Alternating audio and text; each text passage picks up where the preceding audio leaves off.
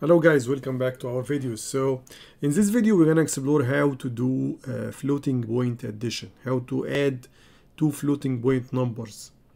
Like this example here, you have uh, a binary number, a binary floating point number 1.000 uh, times 2 to the, to, to the minus 1 plus minus 1.110 uh, times 2 to the power of minus 2 which is basically uh, uh, plus half plus or minus 0.4375 here is the algorithm that we should follow in order to do you know the floating point addition. And why we need an algorithm?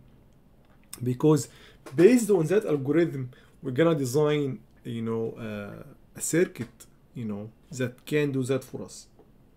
Because there are many you know uh, we should agree on some sort of you know uh, of steps in order to do the addition it's not like doing addition using paper and the hand. So the first you know uh, step is to compare the exponent of the two numbers and shift the smaller uh, you know exponent uh, either uh, you know right until the exponent uh, and shift I'm sorry the, the fraction you know to the right until the exponent would match the larger amount. Because for example you know let's even talk about decimal numbers like uh, 10 to the power of 1 plus uh, 2 10 to the power of 2 we can't add these numbers together. But this is for example 1 but if we say for example you know 1 10 to the power of 1 plus uh, uh, uh, 20 10 to the power of 1 then we can add them together. So basically this will be b 21 10 to the power of 1 okay? So we could add them only when they have the same exponent. We can also do this in that way. We can say this is like uh, uh, point 1 10 to the power of 2 plus 2 10 to the power of 2 so this is basically uh, 10 point, uh, 2.1 10 to the power of 2 which is basically of course 21 point um, 21 times 10 to the power of 1 that's exactly what we're gonna need here to do in the first step. So in our case here this is minus 1 the exponent here is minus 1 the exponent here is minus 2 so according to the algorithm here we should shift the smaller number to the right until its exponent matches the bigger exponent okay. So let's check what we did here. So uh, the smaller exponent here is uh, is this one here? So minus 2 so basically we're gonna uh, uh, write this minus 1.11 uh, 2 to the power of minus 2 in that way. We're gonna shift right so to the to that direction. So it will be basically minus point uh, 0.111 2 to the power of minus 1 okay? That's the first step. The second step as we did here we add the significant. Okay?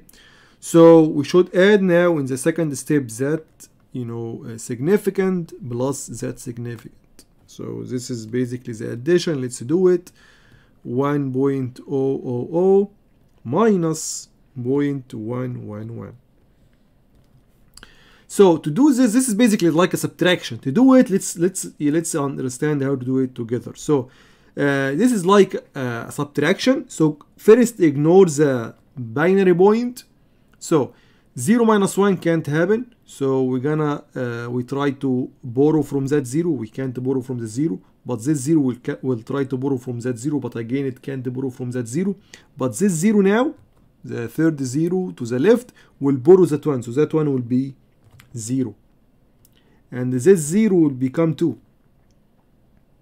then the second 0 will borrow 1 from that 0 so this this 0 become 1 and the middle 0 will become 2 then the first 0 will, will borrow uh, 1 from that 2 so it become 1 and it become 2 by itself.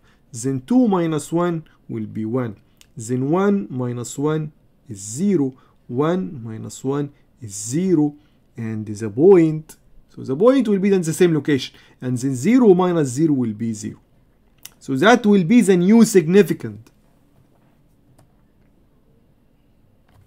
0.001 and the exponent will be the same 2 to the power of minus 1 good. Then remember that in uh, in MIPS or any microprocessor we should agree to the IEEE format floating point format in which you have 1 point something 2 to the power of exponent. So 1 point fraction 2 to the power of exponent. This is of course not in that shape. We should make normalization as we said so what we should do we should you know bring that one to here to the left part you know of, of the number. So we can do that and basically decrease decrease exponent by one. That's basically you know the normalization step number three here. So this is basically the normalization step. So uh, each step we go we increase you know the exponent or we decrease the exponent by 1 so this is minus 1 this is another minus 1 so minus 2 this is minus 3 so minus 1 minus 3 will be minus 4 and you see here guys there is a loop. Because in hardware we do it in multiple times multiple iterations not one iteration. Okay? That's why we have a loop here. Okay the final step so we we we, we will pretend that we did the loop. So we're gonna do uh, the fourth step now. The fourth step is to round the significant to the uh, you know appropriate number of bits. Let's say for example in that case here you know uh, 1.3 zeros let's say that you have only two bits. Let's say so for the fraction. So in that in that case you should remove that zero or make rounding okay? But of course in that case here you know uh, because we said that it's a, four page it's a four digit binary uh, example so that's basically uh, you know enough for us. We don't need to do the rounding.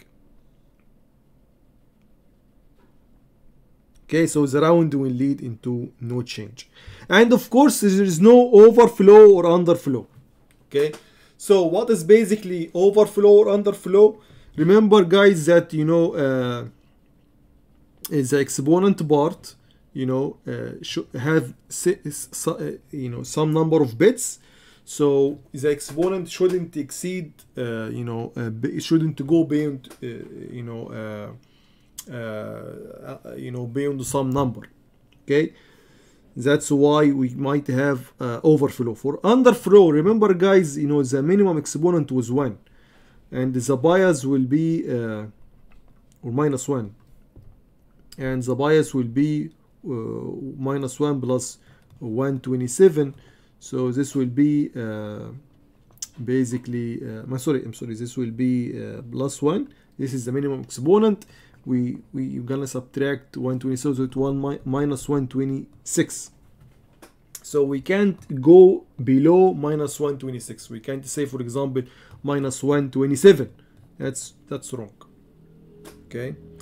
That's basically guys you know the and for the you know the the maximum exponent as we discussed before it was plus 127 so we can't we can't have we can't have like a number uh, you know something multiplied by 2 to the power of 128 that's also wrong. Okay that's basically how to do the addition. In the next video we're gonna explore a circuit a design for a circuit that exactly implements what we just discussed here uh, algorithmic uh, in in, a, in algorithmic way. Okay guys thank you very much for watching and see you in the next video. Bye bye